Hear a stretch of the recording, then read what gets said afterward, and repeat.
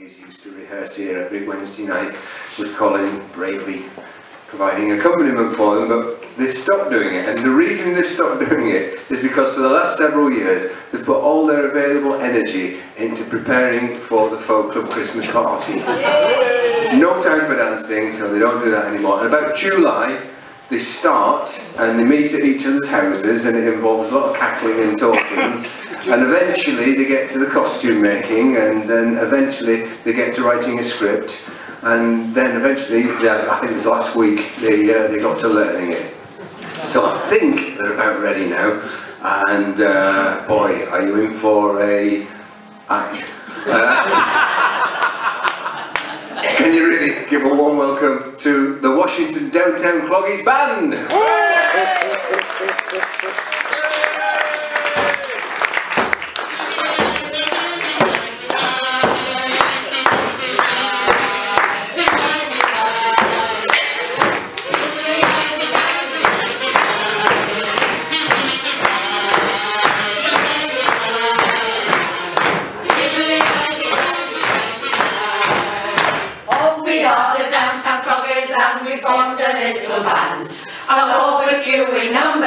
The finest in the land.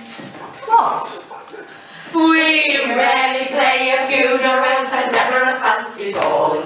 But when we die at the folk club, that's the cruelest cut of all. How on? All the drums go and the singers stand and the they blaze away. Penelope the while others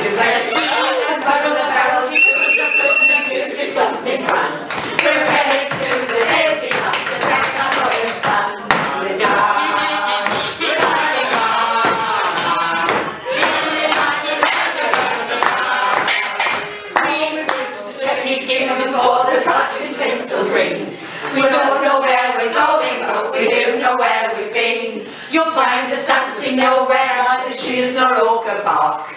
Because you're not from Washington that's not far to walk. The go the they away. And the big squeeze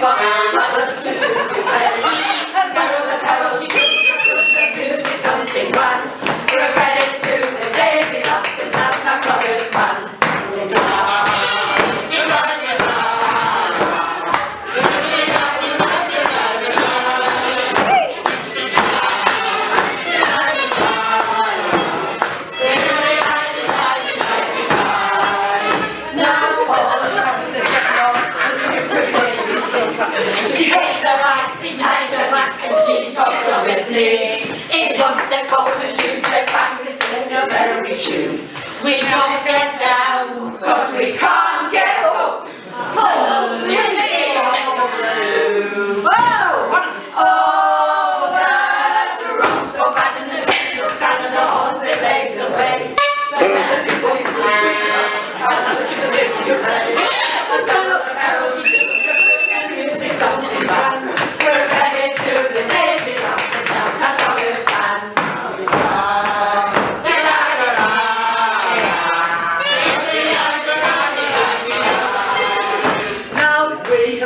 Rehearsing for this very sad affair. The annual celebration, all the folk club gang are there. There's pie and peas and party games and fancy dress to boot.